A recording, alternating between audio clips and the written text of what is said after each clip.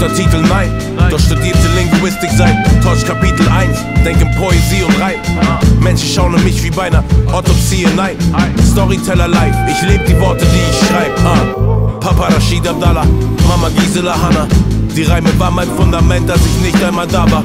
Mein Verstand seit Tag ein scharf wie die Klinge vom Baba. Kein Durchschnitt nach meinem Mikrofoncheck. War aufgeschlossen, aber bekam meinen Key to Success.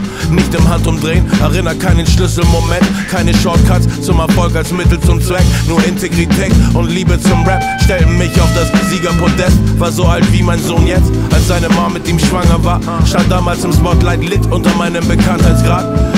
Sensibel, nämlich Sam Siebel. Schrieb nie Tagebuch, dafür Psalme in meiner Rap-Bibel.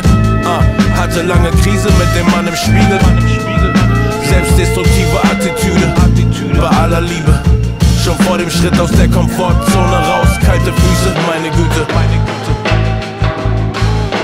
Wenn ich on fire war, machte ich Asche aus meinem Phönix. Verkraftete die Höhen nicht, selbst wer Mangel macht es möglich. Leben hinter den Kulissen ist gewöhnlich faszinierend, aber auch faszinierend gewöhnlich.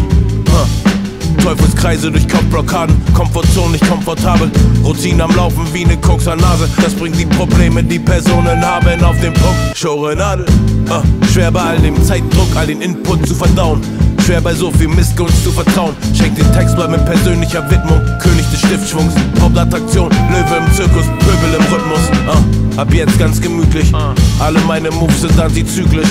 Rauche immer noch ein Blatt zum Frühstück. Schaffte Quantensprünge trotz Knien aus Wackelpudding. Kampf mit Windmühlen, meine Selbstfindung war Public Viewing. Bin eine nordische Spezialität wie Lapskaus. Will nicht einmal glaubwürdig erscheinen, ich will nur, dass ihr es mir abkauft.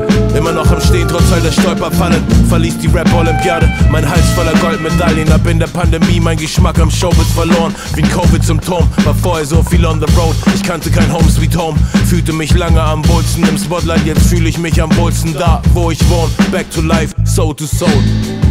Oh. Mit Produktion von Moloko. Plus, plus, plus, plus, plus. Ah. Hatte lange Krise mit dem Mann im Spiegel.